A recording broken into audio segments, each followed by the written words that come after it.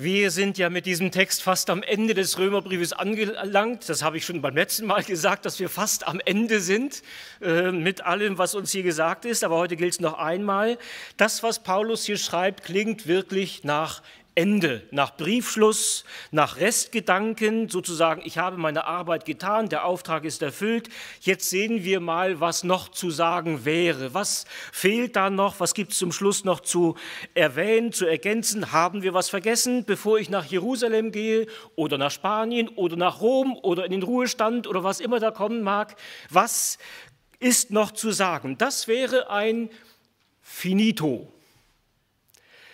Schluss, aus, Ende, fertig, vorbei. Dann würden wir diesen Abschnitt noch aus purer Höflichkeit und aus Respekt vor Paulus lesen, würden zur Kenntnis nehmen, dass er noch eine Kollekte für die Heiligen in Jerusalem im Gepäck hat. Ansonsten würden wir gar nichts Substanzielles mehr erwarten von diesem Rest des Römerbriefes. Oder ist dieser Abschnitt etwas ganz anderes, nicht finito, sondern finale? Was ja fast genauso klingt. Klingt beides nach Ende, nach irgendetwas, was jetzt zum Schluss kommt und doch etwas völlig anderes ist, finito oder finale. Ich hoffe, Sie haben nicht gedacht, was für eine alberne Formulierung für eine Predigt. Ich war selbst ein bisschen gehemmt, ob man das so sagen darf. Und dann dachte ich, doch, das muss man so sagen, denn es geht wirklich um diesen kleinen, feinen Unterschied, der am Ende ein riesengroßer Unterschied sein wird. Ob wir finito sagen, alles am Ende, alles fertig, Schluss, da kommt nichts mehr, oder ob wir hier heute Morgen sitzen mit Römer 15 vor uns und sagen, jetzt liegt das Finale vor uns. Nicht finito, nicht Schlussende aus, sondern da wartet etwas auf uns. Da wird uns eine Perspektive gezeigt, die weit über Römer 15, weit über Römer 16 hinausgeht.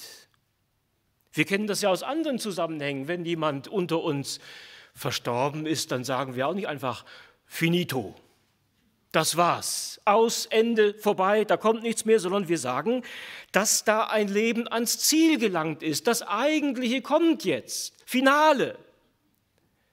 Ein Durchgang zur Herrlichkeit in die ewige Gegenwart des Vaters. Das ist Finale, nicht Finito. Also ein ganz kleiner, feiner Unterschied, der riesengroß sein wird. Ähnlich auch hier in Römer 15. Alles scheint gesagt, vorbei, erledigt zu sein.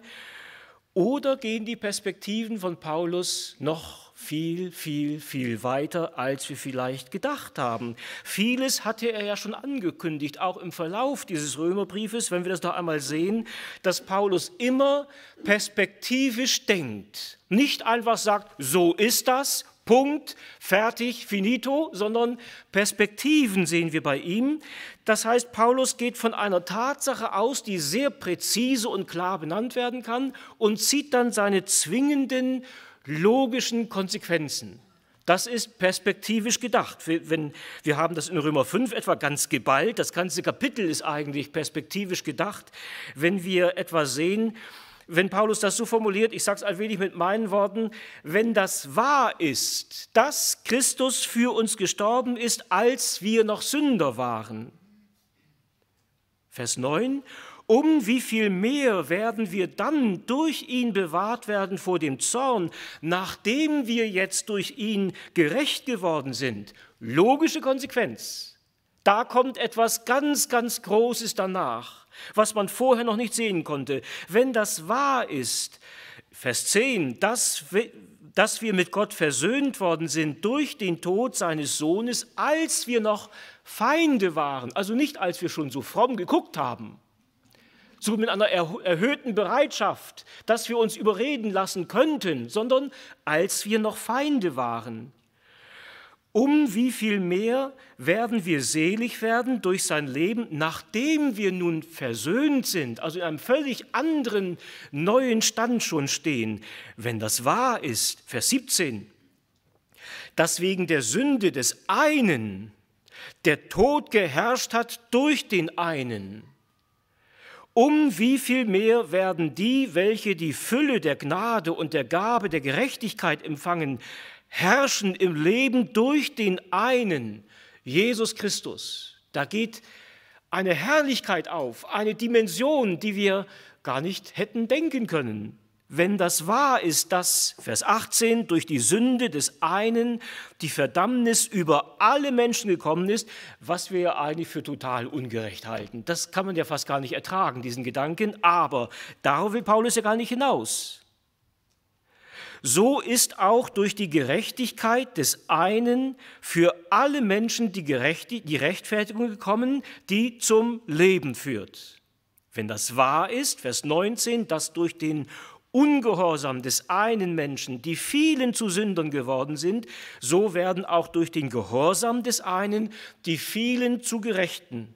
Und ein letztes, Kapitel 8, Vers 11, wenn das wahr ist, dass der Geist dessen, der Jesus von den Toten auferweckt hat, in euch wohnt. Also immer mit diesem Vorsatz, wenn das wahr ist. Könnte ja auch nicht wahr sein könnte ja auch in Ihrem Leben noch nicht wahr sein. Es gilt immer nur unter dieser Prämisse, wenn das wahr ist, dass der Geist dessen, der Jesus von den Toten auferweckt hat, in euch wohnt, dann wird er, der Christus von den Toten auferweckt hat, auch eure sterblichen Leiber lebendig machen durch seinen Geist, der in euch wohnt. Und wir sehen immer vom Kleinen zum Großen, immer von der Andeutung zum Vollendeten, immer vom Teilchen zum Ganzen. Das ist dieses perspektivische Denken von Paulus, bis dahin, dass er in 1. Korinther 7 etwas ganz Sonderbares sagen kann, was manche von uns vielleicht auch ganz persönlich betreffen mag, wo es nämlich heißt, wenn ein gläubiger Mensch mit einem ungläubigen Ehepartner verheiratet ist, was ja an sich schon manchmal sehr, sehr schwer sein kann, dass der Gläubige sich nicht scheiden soll, denn der ungläubige Mann ist geheiligt durch die Frau und die ungläubige Frau ist geheiligt durch den gläubigen Mann, da haben wir schon Mühe. Merken Sie das? Das lässt sich fast gar nicht denken, was das für uns heißt. Also für all die, vor allem, die in solch einer Situation leben. Eigentlich muss man sagen, Paulus, das ist jetzt wirklich irre. Das geht doch nicht. Aber Paulus sagt das sehr, sehr deutlich und sehr betont. Und dann kommt ist der Schlusssatz, sonst wären eure Kinder unrein. Nun aber sind sie heilig. Grandios. Von einem aufs Ganze geschlossen, vom Kleinen zum Großen aufs Ganze. Paulus denkt weiter. Paulus zieht sehr scharf logisch zwingende Konsequenzen aus dem, was er gesagt hat, was eindeutig ist. Er kommt immer vom Kleineren zum Größeren. Wir haben ähnliche Gedankengänge auch an anderen Stellen, zum Beispiel in 1. Korinther 15, wo es um die Ordnungen der Auferstehung geht. Von Vers 20 an, 1. Korinther 15, da heißt es, nun aber ist Christus auferstanden von den Toten als Erstling unter denen, die entschlafen sind. Denn wenn sie in Adam alle sterben, so werden sie in Christus alle lebendig gemacht werden. Wenn er kommen wird, äh, Entschuldigung, ein jeder aber in seiner Ordnung als Erstling Christus, danach, wenn er kommen wird, die, die Christus angehören, danach, und jetzt kommt ein, ein sehr sonderbares oder ein schwieriges Wort, ähm, nämlich da heißt danach das Ende. Und da könnten wir wieder uns verfangen in diesem Gedanken, finito. Schluss. Danach ist einfach alles aus, alles vorbei. Danach das Ende, wenn er das Reich Gott dem Vater übergeben wird, nachdem er alle Herrschaft und alle Macht und alle Gewalt vernichtet hat. Und in dieser Aufzählung ist eine ganz wesentliche ähm, äh, Bedeutung, wie, wie läuft diese Aufzählung als Erstling, Christus. Er hatte gesagt, das ist eine Ordnung, also eine Aufzählung als Erstling Christus, danach die, die Christus angehören. Wir würden sagen, erstens, zweitens, drittens. Ja, das ist unsere Aufzählung. Erstens, zweitens, drittens. Er hat gesagt, erstens Christus, zweitens die, die Christus angehören, drittens aus. Ende, vorbei, finito. Und das würde heißen, der Rest geht den Bach runter. Der Rest wird vernichtet. Denn es hieß ja, wenn er das Reich Gott dem Vater übergeben wird, nachdem er alle Herrschaft und alle Macht und Gewalt vernichtet hat. Das wäre das Ende. Die paar Hansel, die da zum Glauben gekommen sind bis dahin, die sind da irgendwo an ihrem Ort und der ganze Rest ist verloren, finito. Und darum ist diese Frage so wichtig, finito oder finale. Was erwarten wir da? Wenn er alle Herrschaft und alle Macht und alle Gewalt vernichtet hat, der Tod und sein Reich werden vernichtet. Klingt ja grausig. Wenn wir aber genau hinsehen in der Offenbarung, da steht es ja mit dem Tod und seinem Reich. Was wird denn da vernichtet? Der Tod und sein Reich. Nachdem er die Toten herausgeben musste. Und jetzt wird der Tod und sein Reich und alle Macht und alle Gewalt und alle Herrschaft vernichtet, nachdem er die Toten herausgeben musste. Das ist hier die Frage. Ist gemeint finito oder finale? Als Erstling Christus, danach die, die Christus angehören, danach das ganz große Finale von dem wir noch nicht genau sehen können, wie das weiterläuft, wie das genau geht, aber nicht finito, sondern finale, das ganz große Ende, das ganz große Ziel, das, was Vollendung meint, nicht Ende und Schluss. Und ähnlich geht es hier in Römer 15, Briefschluss, oder geht es jetzt hinein in dieses große Finale Gottes mit seiner Welt? wo wir sehen, dass Paulus um jeden Preis, und das sage ich be bewusst so, um jeden Preis die letzten Schritte in diesem Finale auch noch gehen will und dabei sogar sein Leben riskiert. Wir haben das gelesen und gehört, wo es darum geht, dass er die Gemeinde in Rom darum bittet, helft mir zu kämpfen, wenn ich nach Jerusalem gehe. Die Leute von Ephesus und von Milet haben gesagt, bleib doch da weg. Lass das doch. Du musst doch gar nicht dahin. Und jetzt fängt er an zu jammern und sagt, helft mir zu kämpfen, wenn ich dahin gehe. Nein, nein, sondern er muss, er muss dahin nach Jerusalem. Er muss diesen letzten Weg gehen zum großen Finale. Warum ist das so wichtig, nach Jerusalem zu gehen? Wir haben ein wenig schon beim letzten Mal gesehen, nämlich dass Paulus ja nicht das Gesetz komplett hinter sich gelassen hat, dass er das Gesetz nicht einfach abschreibt und sagt, das spielt keine Rolle mehr, sondern er hat nur eines für erledigt beschrieben, nämlich die Gerechtigkeit aus den Werken des Gesetzes. Die ist finito. Da ist Schluss. Das gibt's nicht keine Gerechtigkeit aufgrund von Moral, von Humanismus, von Gelehrsamkeit, von Frömmigkeit, von, von irgendwelchen guten Dingen, die wir, die wir in uns haben. Keine Gerechtigkeit aus den Werken des Gesetzes, aber niemals hat er das Gesetz an sich einfach so vom Tisch gefegt. Man hat ihm das immer wieder vorgeworfen. Aber Paulus betont, das Gesetz ist heilig und gut, das Gesetz ist Wahrheit, das kennt er als Pharisäer, als Schriftgelehrter natürlich. Das Gesetz ist die ganze Weisheit Gottes im Buchstaben. Können sogar sagen, im Gesetz ist der Weg, die Wahrheit und das Leben verborgen, verborgen. Das Gesetz ist nicht Weisheit. Es ist nicht Weg, Wahrheit und Leben, aber Weg, Wahrheit und Leben sind im Gesetz verborgen. Öffne mir die Augen, dass ich sehe die Wunder an deinem Gesetz. Immer wieder diese Gedanken. Das Gesetz ist genial, heilig und gut. Dabei bleibt Paulus. Und jetzt schickt er sich sozusagen an. Normalerweise gebrauche ich solche Wortformulierungen nicht, aber jetzt schickt er sich an, dieses wesentliche, letzte, unscheinbare Detail des Gesetzes auch noch zu erfüllen. So unscheinbar dieses Detail auch aussehen mag, so gigantisch ist es zugleich. Was wir hier sehen, das ist das Thema in Römer 15.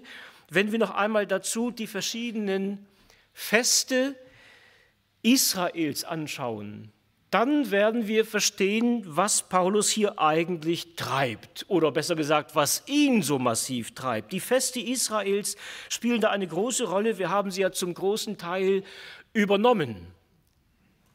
Wir feiern irgendwie ähnlich das Passafest, wir feiern irgendwie ähnlich Ostern, wir feiern auch das Pfingstfest, anders als damals in Israel, aber irgendwie feiern wir es auch. Wir haben alles mehr oder weniger übernommen, ohne den eigentlichen Sinn zu verstehen und zu sehen, was es denn heißt. Zum Beispiel gibt es da ein Fest, das heißt Reshit. Kennen Sie das überhaupt?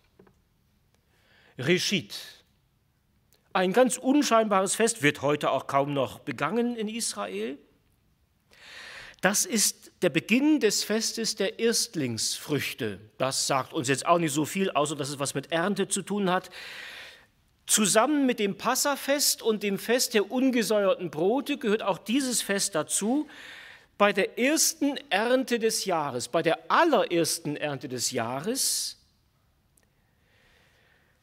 blieb zunächst eine einzige gebundene Garbe stehen.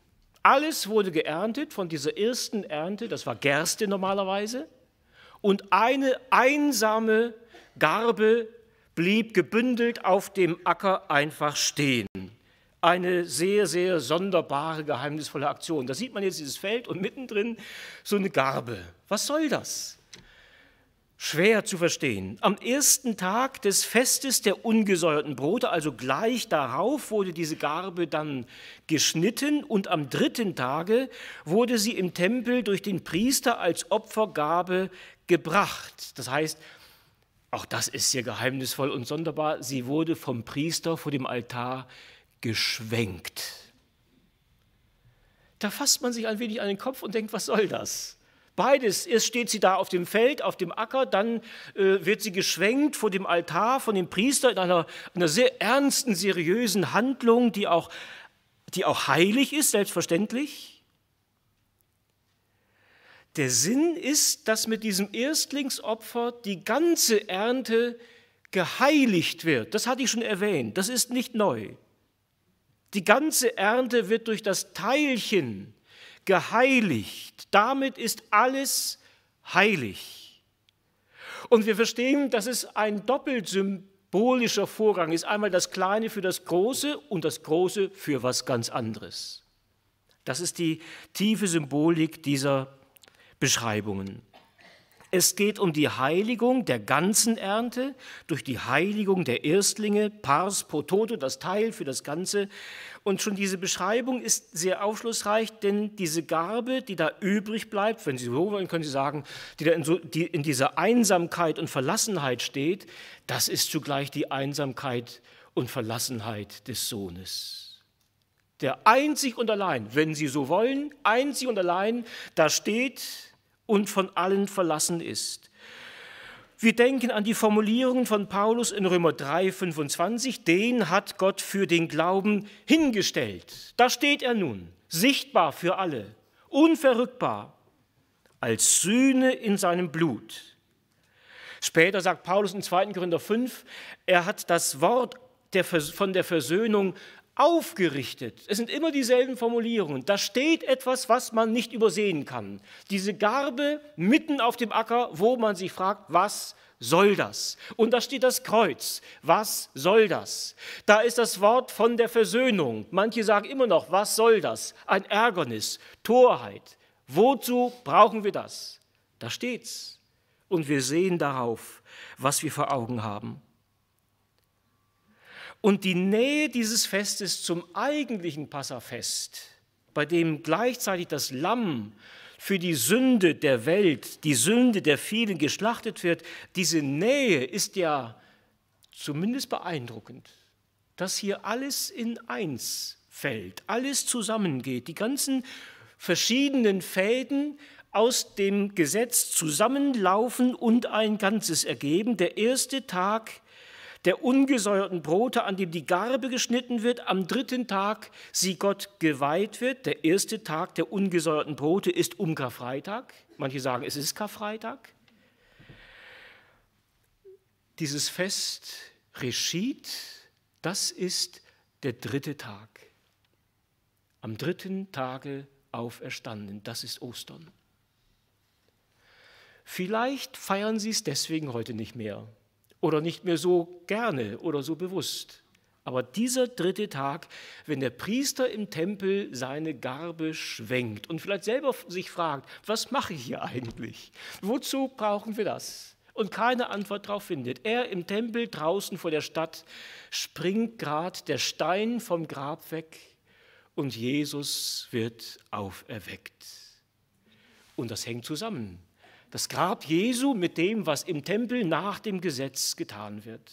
Der Priester feiert seinen Gottesdienst, bringt seine Erstlingsfrucht dar, schwenkt sie vor dem Altar, sie wird geheiligt, draußen steht Jesus von den, Toren, von, von den Toten auf.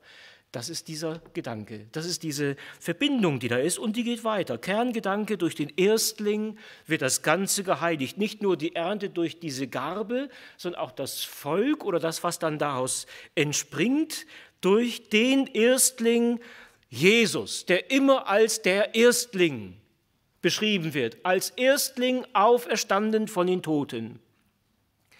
Und an diesem Tag der Erstlingsfrüchte wird er als Erstlingsopfer für sein Volk dahingegeben. Sein Volk hat keine Ahnung, was da passiert. Aber was er da tut, er weiß es.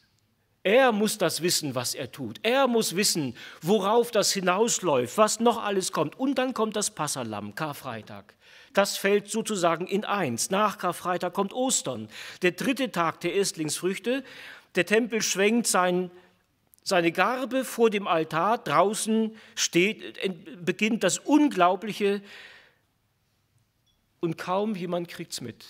Kaum jemand kriegt es mit, was da Großes geschieht. Und dann, nach einigen Tagen, heißt es, dass die Jünger in Jerusalem bleiben sollen. Sie sollen warten. Sie wissen nicht genau worauf, aber sie sollen bleiben, denn mit diesem Reschid beginnt nun etwas, was man das Zählen der Tage nennt. Sieben Tage. Das haben wir schon gesehen. Nicht sieben Tage, sondern sieben Sabbattage. Und am Tag nach dem siebenten Sabbattag, das ist der 50. Pentakoste, Pfingsten, das verstehen sie noch nicht. Sie sollen warten auf ein großes Ereignis und dann erleben sie, dass an Pfingsten, das ist ja wieder ein Erntefest, das ist das Erstlingsopfer der späteren Erstlinge. Da ist der frühe Erstling und da sind die späteren Erstlinge. Und dann verstehen wir vielleicht, wie stringent sich Paulus an diese Linien hält. Das Opfer der Erstlingsgabe, geschnitten, vor dem Altar dargebracht, die Auferstehung, dann warten sie und sie warten und sie warten, sieben Sabbattage plus einen. Und dann erleben sie diese gewaltige, dieses gewaltige Ereignis am Pfingsten, das ja sehr, sehr nüchtern beschrieben wird in der Apostelgeschichte 2, ähm, aber immer verbunden mit dem Gedanken an die Ernte und die Ernte ist auch noch einmal ein Symbol, ein Signalwort für uns, ein Zeichen für uns. Da fallen uns manche Bibelworte ein, die das schon beschrieben haben, etwa eigentlich ein adventliches Wort, Jesaja 9. Das Volk, das im Finstern wandelt, sieht ein großes Licht und über denen, die da wohnen im finstern Lande, scheint es hell. Du wächst lauten Jubel, du machst groß die Freude. Vor dir wird man sich freuen, wie man sich freut in der Ernte, wenn man fröhlich ist, wenn man Beute austeilt. Das ist Pfingsten. Da geht es zur Ernte. Da wird es jetzt sichtbar, was gewachsen, was geworden ist. Wenn Sie nochmal die Beschreibung Apostelgeschichte 2 nachlesen, nicht nur die gewohnten Formulierungen Apostelgeschichte 2, 42, sondern was danach noch alles kommt. Wenn es beschrieben wird, was für ein Jubel da ausbrach, wie die außer sich waren. Du wächst lauten Jubel, du machst groß die Freude. Da haben wir eine Ahnung, was dafür, ich sage es mal ganz platt, für ein Leben in die Bude kam plötzlich. Nicht nur, dass sie sich ein wenig gefreut haben und sagen, ach ja, wie schön, wir haben jetzt einen Heiligen Geist, sondern sie waren außer sich vor Freude. Oder ein anderes Bibelwort, wenn Jesus sagt in Lukas 10, Jesus sprach zu ihnen, die Ernte ist groß, der Arbeiter aber sind wenige, darum bittet den Herrn der Ernte, dass er Arbeiter aussende in seine Ernte. Ich muss Ihnen ehrlich gestehen, dass ich bei diesem Wort jahrelang innerlich zusammengezuckt bin und dachte, oh, das klingt nach richtig viel Arbeit, lass uns schnell verschwinden. Ja, das wäre ja eine mögliche Konsequenz. Das ist uns zu viel auf einmal, also nichts wie weg. Eigentlich heißt es ja, wir haben keine normale Ernte zu erwarten. Das ist nicht das, was man schon kennt. Eine Wiederholung von dem, was man jedes Jahr so macht mit der Ernte. Wo man sagen könnte, wir kriegen das hin, wir haben das schon 27 Mal hingekriegt und das 28. geht auch noch. Nein, sagt Jesus. Für diese Ernte seid ihr viel zu wenig. Diese Ernte wird zu groß sein. Diese Ernte wird alles überragen, was ihr jemals an Ernte gesehen und erlebt habt. Die Ernte ist größer, als wir jemals erwarten können und darum sollen sich die Jünger, soll sich die Gemeinde, sollen wir uns ganz anders aufstellen, um diese Flut der Ernte zu bewältigen. Nehmen Sie das Schild mit. Das ist der direkte Weg. Die Ernte ist groß, es gibt viel zu tun.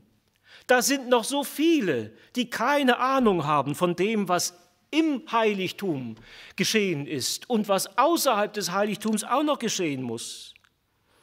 Dass wir das verstehen, was hier geschieht.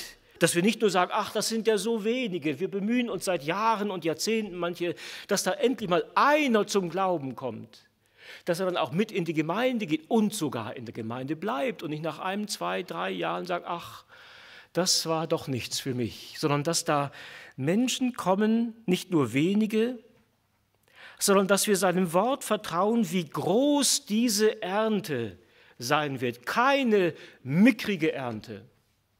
Immer dieser Gedanke, da kommen nur so wenige zum Glauben. Und der ganze Rest ist finito. Nein. Es geht ins Finale. Macht euch bereit für diese ultimative Ernte, die noch aussteht, die wir, noch, nicht eingefahren haben. Nicht nur das Ende ist nahe, sondern die Vollendung wartet noch auf uns. Nicht nur viel Arbeit liegt vor uns, sondern wir stehen vor einem einzigartigen, großen Finale. Wie sieht das Ganze bei Paulus jetzt aus? Römer 15. Wir sind ja noch nicht ganz durch mit diesem Kapitel. In Vers 21 hatte er es zunächst ja Jesaja 52 zitiert und gesagt: Ich habe getan, wie geschrieben steht, er wird viele Heiden besprengen, dass auch Könige werden ihren Mund vor ihm zuhalten, denn denen nichts davon verkündigt ist, die werden es nun sehen und die nichts davon gehört haben, die werden es merken. Und später in Rom wird er hier noch einen ganz wesentlichen Satz anfügen, nämlich Apostelgeschichte 28, Vers 28. Eines sei euch kundgetan. Wir können auch sagen, das eine lasst euch gesagt sein. Das vergesst nicht, dass den Heiden dieses Heil Gottes gesandt ist. Und da kommt ein schönes Wort.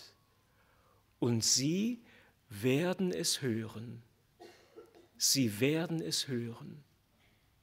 Fast kann man sagen, ob sie wollen oder nicht, sie werden es hören.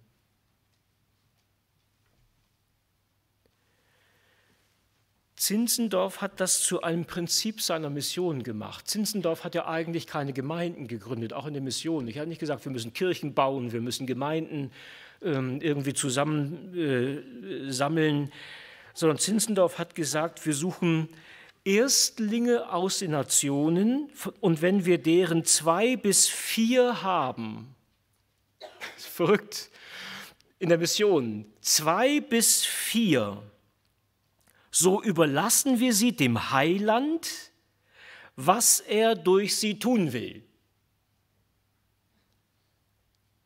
Da durchfährt es uns ein bisschen, dass wir sagen, das geht doch nicht. Wesley hat gesagt, so zeugt man Kinder für den Satan. Zwei oder vier und die überlässt man einfach sich selbst.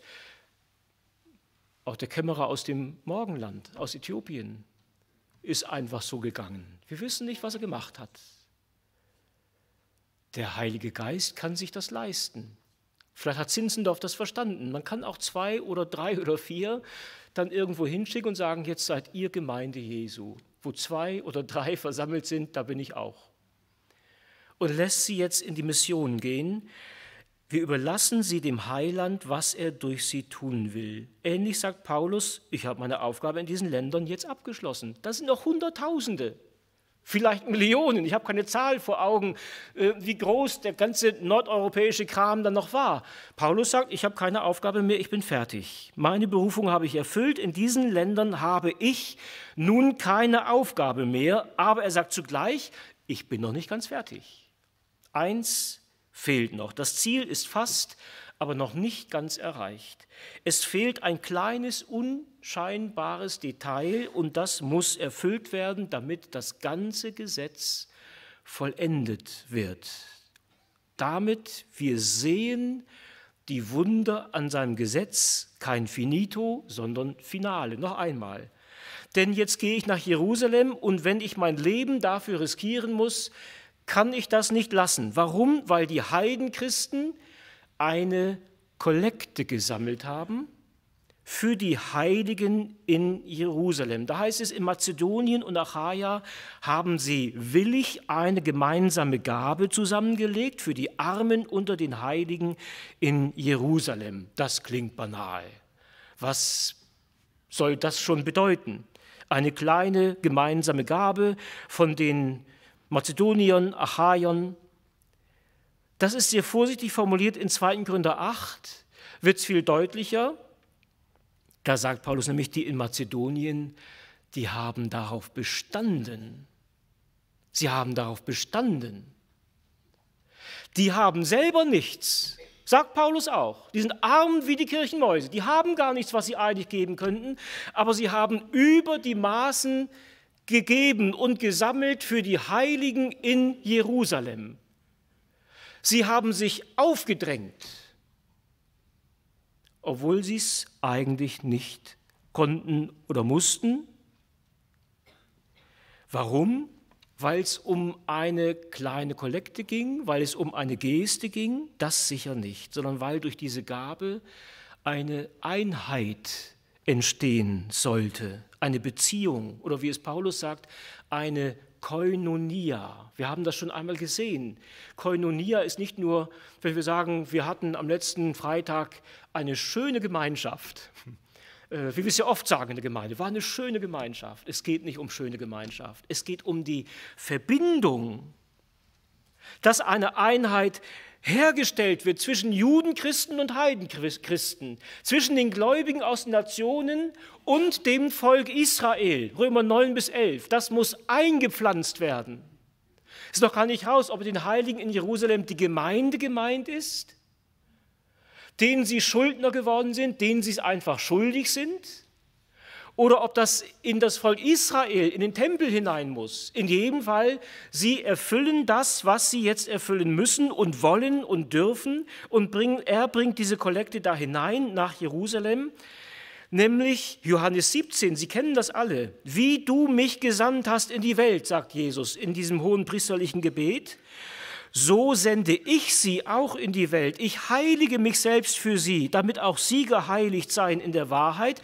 Ich bitte aber nicht allein für sie, sondern auch für die, die durch ihr Wort an mich glauben werden. Da ist eine ganz weite Perspektive. Und dann kommt dieser kleine Satz, damit sie alle eins werden. Eins werden. Nicht damit sie alle einer Meinung sind. Darum geht es gar nicht oder damit sie alle Jahre nach Jerusalem fahren und da großes Fest feiern. Ist auch schön, ist aber nicht gemeint, sondern dass sie eins werden in Jesus. Um diese Einheit geht es, die muss hergestellt werden und die soll auch im Tempel hergestellt werden durch den Priester, der dafür zuständig ist. Der weiß zwar auch nicht, was er tut, aber er macht's. Das ist genial, wie Paulus das irgendwie doch hinkriegt. Epheser 4 können Sie es nachlesen von dem Leib, der da entstehen muss, die Einheit des Leibes, ein Leib, ein Geist, eine Hoffnung, eure Berufung, ein Herr, ein Glaube, eine Taufe, ein Gott und Vater, damit er alles erfülle, damit die ganze Fülle entsteht, vollendet wird. Und diese Einheit will Paulus in Jerusalem, da steht ein ein Wort, das kann man im Deutschen gar nicht, das können wir fast gar nicht aussprechen, Sragizomai. Im Griechischen. Da merkt man schon, das ist nicht irgend sowas, sondern da, da muss man sich fast anstrengen, das überhaupt auszusprechen, hinzukriegen, zu denken. Nämlich diese Einheit will Paulus in Jerusalem versiegeln. Das ist das Wort. Ich will das in Jerusalem im Tempel versiegeln. Dieses Wort wird auch gebraucht, wenn jemand einen Schlussstein setzt, sozusagen das Grab versiegelt. Und mit diesem Stein, mit diesem Siegel ist endlich, das können wir fast sagen, finito, endlich das Ziel erreicht und zugleich Finale. Denn es geht weiter. Das kommt später. Das kommt nicht mehr heute Morgen. Aber es geht weiter. Die Perspektive ist noch lange nicht am Ziel. Er will es versiegeln, er will diesen Schlussstein setzen und wenn wir sehen, wer sind die von Mazedonien, Achaia, das sagt Paulus in 1. Korinther 16, das sind die Erstlinge aus den Nationen. Er kauft aus den Menschen als Erstlinge für Gott und das Lamm, heißt es später in Offenbarung 14, Vers 4. Und wo Erstlinge sind, da kommen die vielen immer hinterher. Wo etwas angefangen hat, da kommt das Große danach. Erstlinge sind der Anfang, das Angeld, die Anzahlung für, die, für das große Finale. Diese Erstlinge müssen geheiligt werden aus Israel, aus der Gemeinde, aus den Nationen, damit durch sie alle geheiligt werden. Und darum bringt, darum muss Paulus jetzt mit dieser Gabe nach Jerusalem die Erstlingsgabe von den Erstlingen aus den Nationen. Und er sagt Heinrich Spangenberg, einer der Ausleger, ein sehr schönes, eine schöne Formulierung.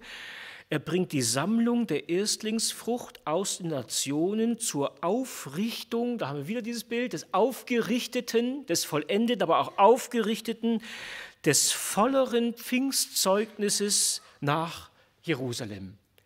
Und darum geht Paulus nach Jerusalem und zählt sieben Tage. Das macht er nicht irgendwann zwischendurch, sondern stringent nach dem Gesetz.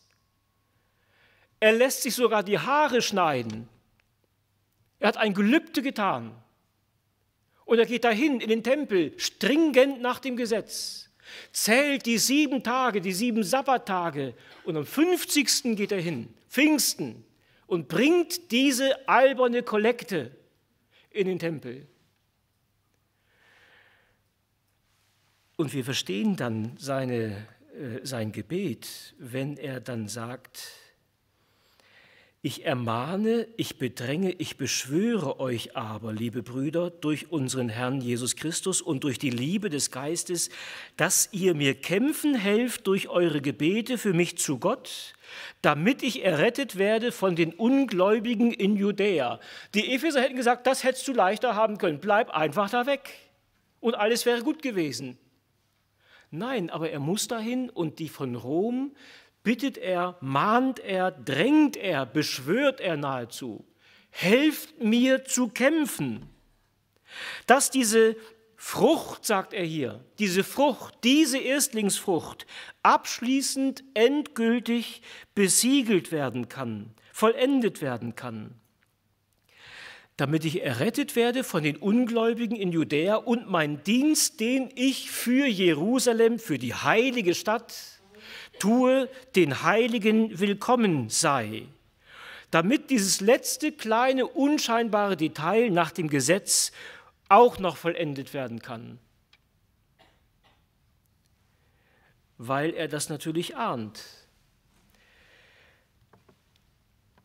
dass das die Juden in Jerusalem nicht ertragen werden, dass da eine Gabe, eine Frucht eine unreine Gabe von den Heiden in den Tempel gebracht wird. Das ist selbst, das weiß Paulus, selbst für die Judenchristen fast nicht zu denken, dass das in den Tempel soll. Selbst ob die Brüder in Jerusalem das akzeptieren werden, ist ihm noch fraglich. Die Gemeinde wird zutiefst irritiert sein.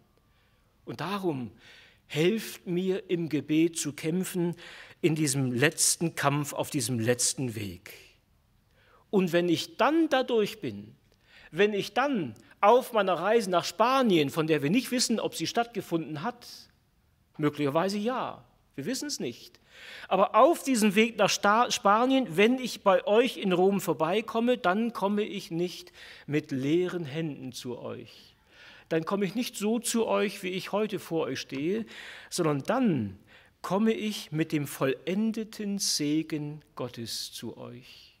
Dann ist alles vollendet und alles vollbracht. Nämlich das, was mit 1. Mose 12 angefangen hat. In dir sollen gesegnet werden alle Geschlechter auf Erden. Das hat ja anfangs kein Mensch verstanden, was es heißt. Auch Abraham hat es nicht verstanden, auch Mose hat es nicht verstanden, auch die Propheten haben es nur ansatzweise sehen können, was das heißt. Gesegnet alle Geschlechter auf Erden. Einer der wenigen, der es verstanden hat, war Jesaja. Jesaja 60, wieder eigentlich Advent. Die Heiden werden zu deinem Lichte ziehen, die Könige zum Glanz, der über dir aufgeht. Hebe deine Augen auf und sieh umher. Diese alle sind versammelt und kommen zu dir. Deine Söhne werden von ferne kommen und deine Töchter auf dem Arm getragen werden. Dann wirst du deine Lust sehen und vor Freude strahlen und dein Herz wird erbeben und weit werden, wenn sich die Schätze der Völker am Meer zu dir kehren und der Reichtum der Völker zu dir kommt. Und genau das passiert jetzt. Ein Angeld nur. Für die Mazedonier war das der Reichtum, wie bei der Witwe, die von dem wenigen, was sie hat, alles gegeben hat. Den ganzen Reichtum hineingelegt hat. Und wenn es nur ein Pfennig war, für sie war es der ganze Reichtum. Und dieser Reichtum, diese armselige Kollekte aus Mazedonien und Achaia kommt jetzt nach Jerusalem als Angeld für die Schätze der Völker am Meer. Der Reichtum wird sichtbar. Das gilt. Ob das wenig ist, ob das nur ein paar Hansel sind, die da zum Glauben kommen, das ist nicht das Ende. Das Finale kommt erst noch. Und wenn das wahr ist, dass durch die Erstlinge immer das Ganze gemeint ist und geheiligt ist, dann dürfen wir jetzt Ausschau halten nach dem, was da kommt. Ein großes Finale. Niemals finito. Dann verstehen wir auch, wie Paulus seinen Brief angefangen hat in Römer 1, Vers 11, was er sehr nüchtern klang. Da schrieb er nämlich, denn mich verlangt danach, euch zu sehen, damit ich euch etwas mitteile an geistlicher Gabe, um euch zu stärken. Das heißt, damit ich zusammen mit euch getröstet werde durch euren und meine, meinen Glauben, den wir miteinander haben. Das klingt ja zum Einschlafen, was Paulus hier beschreibt. Nichts Gewaltiges, aber Paulus will genau das ja sagen. Wir haben solch ein gigantisches, großes, geniales, unfassbares Evangelium, solch eine unglaubliche Botschaft weiterzugeben, solch eine Fülle des Segens, die kommt erst am Ende vom Römerbrief, aber Paulus sieht es natürlich schon. Und wenn ich dann komme, dann komme ich nicht, wie wir es vorhin ge gehört haben, dass ich mich ein wenig an euch erquicke, sondern dann ist der Jubel da, weil es vollendet ist. Wir haben es ja selber gesungen, der letzte Feind des Menschen hat nicht das letzte Wort. Das Zeichen deiner Liebe ragt in den Himmel auf, ein Ärgernis für viele, doch Rettung dem, der glaubt. Du hast das Kreuz gewählt zum Heil für diese Welt. Es erklingt das Lied des Lebens. Das heißt nicht, hoffentlich wird's noch, sondern es ist vollbracht. Der Weg ist frei durch das Kreuz. Das ist nun vollendet und darum verlangt es mich danach, euch zu sehen, weil wir solch eine grandiose Botschaft haben, kein Finito, sondern ein riesiges Finale, das alle Erwartungen übertrifft. Die Frage ist relativ einfach. Sind Sie dabei? Sind Sie dabei? Gehen Sie damit? Wollen wir dabei sein? Finito oder Finale? Wählen Sie es Finale. Alles andere ist Käse. Finale, das steht vor uns. Und dieses Finale tragen wir raus. Im Beten, im Mitgehen, im Tragen, in den Zeichen, die wir aufrichten, wie eine Garbe mitten auf dem Feld. Und jeder soll es sehen. Ich bete noch, darf Sie bitten dazu aufzustehen.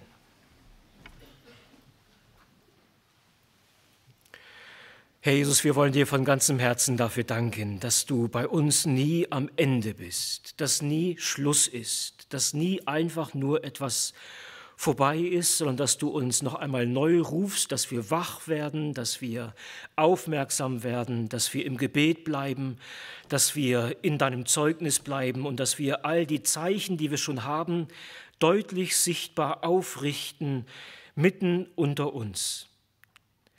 In unseren Häusern, vor unseren Häusern, überall da, wo wir sind. Und das wollen wir tun in diesen Tagen, wir wollen uns senden lassen in diese große Ernte, die vor uns liegt, auch wenn es erst nur ein Zwischenschritt ist.